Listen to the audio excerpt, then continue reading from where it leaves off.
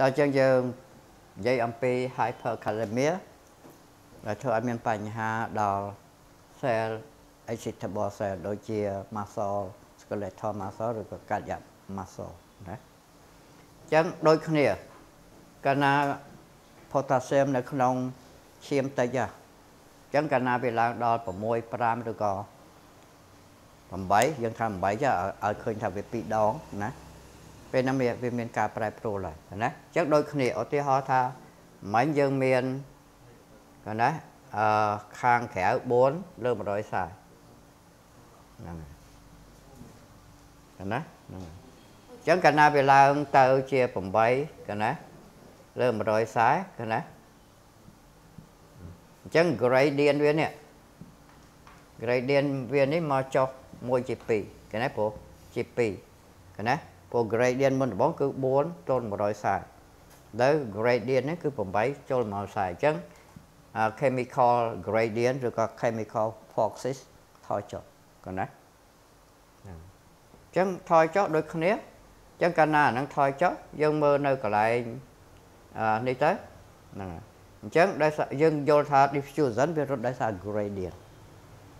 កណាឲ្យយល់ gradient ជាអ្នកធ្វើឲ្យមាន diffusion diffusion ជាអ្នកធ្វើឲ្យមាន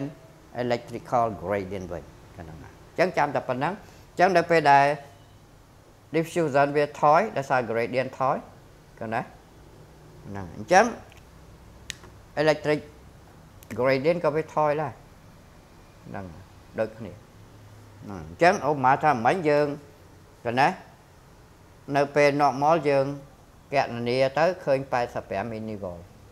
ហ្នឹង gradient ប៉ុណ្ណឹងអញ្ចឹងដល់ពេលដែល gradient ថយយើងកណនាទៅវាធ្លាក់មកនៅកណេះឧទាហរណ៍កណេះអឺ65 millimol ឧទាហរណ៍ចឹងហ្នឹងកណេះដោយសារតែដោយសារតែ gradient យើងថយកណេះអញ្ចឹងកាលណា gradient យើងថយអឺ potential ក៏ថយដែរកណែដូចយើងធ្វើតាម ណា equation អញ្ចឹងយើងអញ្ចឹងយើងដាក់ទៅឃើញណាចាញ់ជា calculation មកយើងឃើញថា65ហ្នឹងអញ្ចឹង65នេះគ្រោះថ្នាក់ហ្នឹង65នេះគឺវាធ្វើឲ្យតើយើងអឺបន្ទាប់ពី section ហ្នឹង section ក្រោយយើងនឹងនិយាយអំពី relation រវាង potassium ហេតុអីបានជាវាអាចគ្រប់គ្រងទៅលើ sodium បាទ channel បាទ អញ្ចឹងនៅពេលដែលយើងស្គាល់ characteristic របស់ sodium channel ពេលហ្នឹងបានយើងដឹងថា sodium channel ត្រូវគ្រប់គ្រងដោយសារតែ potassium ហ្នឹងកន្លែងហ្នឹងដែលខ្ញុំនិយាយថា potassium មានតួនាទី role វាតួនាទីណាធ្វើឲ្យ sodium channel ហ្នឹងបើកនិងបិទបានហ្នឹងអញ្ចឹងតើយើងយល់អំពី physiology របស់ sodium channel ដែលយើងរៀននៅសាច់ខ្ញុំក្រោយ អញ្ចឹងសាច់ខ្ញុំនេះគាត់ខ្ញុំបញ្យល់ថាកាលណាយើងមានមកបរាន potential ធ្លាក់ដល់ប៉ុណ្ណឹងអញ្ចឹង sodium channel ណាវានឹង inactive sodium channel will become inactive inactivate inactivate មានន័យថាយើងភ្ញួយមិនក៏វាអត់ activate យើងវាភ្ញួយមិនក៏វាអត់បើកមកវិញដែរចាំបញ្ជាក់អញ្ចឹង អញ្ចឹងអានឹងគ្រោះថ្នាក់អញ្ចឹងនៅពេលដែល sodium អត់អាច activate បានយើងដឹងថា sodium មានតួនាទី start activity sodium មានតួនាទីឲ្យ calcium ចូលមកដើម្បីធ្វើ contraction កណាអញ្ចឹងពេលហ្នឹងយើងទៅជា paralysis កណាបើនៅ skeletal muscle យើង paralysis ហ្នឹងហើយតែ sodium នឹងយឺតចូលអត់បានណា ថ្ងៃក្រោយខ្ញុំនឹងបញ្យល់តើតួនាទីរបស់ sodium channel ហ្នឹងដែលមាន characteristic ហ្នឹងវាមាន function អីថែមទៀតហ្នឹងហើយអញ្ចឹង sodium channel ហ្នឹងវាមានតួនាទីធ្វើ conduction ហ្នឹងហើយអញ្ចឹងនៅពេលដែល sodium channel នឹងធ្វើឲ្យកើត conduction វាខូចវានឹងឲ្យមាននៅលើបេះដូងឲ្យមាន arrhythmia ហ្នឹងហើយណា អាហ្នឹងគឺជារឿងក្រោយដែលយើងបញ្យល់ថាហេតុអីបាន sodium អឺ channel ខូចឲ្យមាន arrhythmia potassium channel ខូចឲ្យមាន arrhythmia យើងនឹងបញ្យល់នៅក្នុង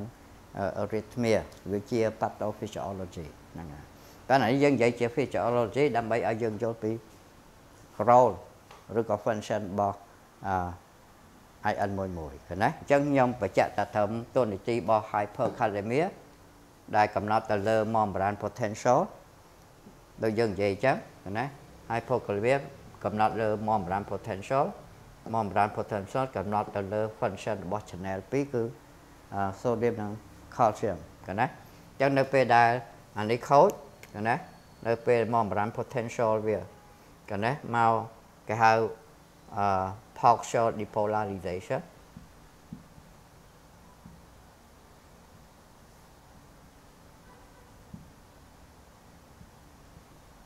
ឬក៏យើងហៅថា less negative ណា less negative ឧបមាថា instead of uh ណា85ទៅជា65វិញពេលហ្នឹងណាធ្វើឲ្យ sodium channel paralyze និយាយចេះសូមបងថា paralyze ហ្មងក៏បានអញ្ចឹងពេលហ្នឹងអ្វីអ្វីក៏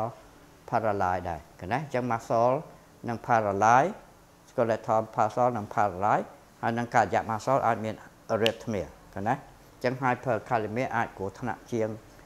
hypokalemia ប៉ុន្តែវាឲ្យ paralyze ដូចគ្នាកណាបើយើងចេះអត់យល់ថាហេតុអី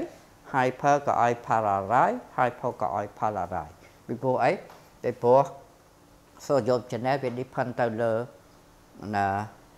voltage នៅលើ membrane ហ្នឹងណាខ្លាំងហើយនៅក្នុង narrow មួយទូច នៅក្នុង narrow មួយទូចអញ្ចឹង narrow នឹងទូចបានន័យថាលើសចេញពី narrow នឹងខាងលើពេកក៏គ្រោះថ្នាក់ចេញពី narrow នឹងចូលខាងក្រោមពេកក៏គ្រោះថ្នាក់ដែរកណាអញ្ចឹងកន្លែងហ្នឹងចង់បញ្ជាក់ថា hyper ក៏ដោយ hypo ក៏ដោយក៏គ្រោះថ្នាក់ដែរហើយអឺ consequence អាចឲ្យ paralyze ដូចគ្នាណាអញ្ចឹងកុំឲ្យយើង មានការផលចំណំណាហេតុអីបានជាយើងមានបបហេតុខុសគ្នាតែយើងមានអឺ consequence ដូចគ្នាឲ្យ paralyze ដូចគ្នាណាអញ្ចឹងខ្ញុំគ្រាន់ចង់បញ្ជាក់អាហ្នឹងគណៈអញ្ចឹងការដែលយើងយល់អំពី physiology របស់ IN មួយច្បាស់ប៉ុណ្ណេះយើងនឹងអាចបញ្យល់ឬក៏ apply វាទៅលើ clinic យើងនឹងអាចយល់ថាហេតុអីបានជាអ្នកនឹងមានបញ្ហា hyper hypokalemia អាចធ្វើឲ្យ paralysis ណានេះជា example មួយណាដែលយើងយក physiology មក apply នៅក្នុង clinical ហ្នឹងហើយអញ្ចឹងខ្ញុំសូមបញ្ចប់ presentation ប៉ុណ្ណឹងដែលតាក់ទងជាមួយនឹង transport ឬក៏ IN ដែលយើងប្រើប្រាស់នៅក្នុងកាយៈម៉ាសោណា